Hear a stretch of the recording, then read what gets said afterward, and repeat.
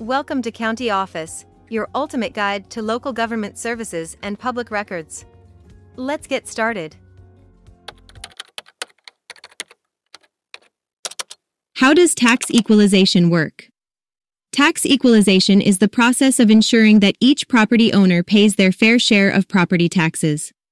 Local government assesses the value of properties, which is used to determine the amount of property tax owed. The assessed value is based on factors such as location, size, condition, and improvements made to the property. However, not all properties are assessed equally, which is where tax equalization comes in. Tax equalization adjusts the assessed value of a property to ensure that it is in line with the values of similar properties in the area. This ensures that each property owner pays their fair share of property taxes, regardless of any discrepancies in the initial assessments. Tax equalization is typically handled by a county or state board of equalization, which reviews property assessments and makes necessary adjustments.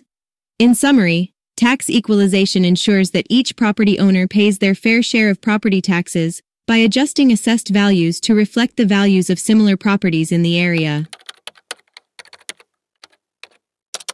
To learn more, check out these links which you can click in the description below, and feel free to comment your questions. We're here to help. Thanks for tuning in to our video. Please like and subscribe, and leave a comment below. See you in the next video.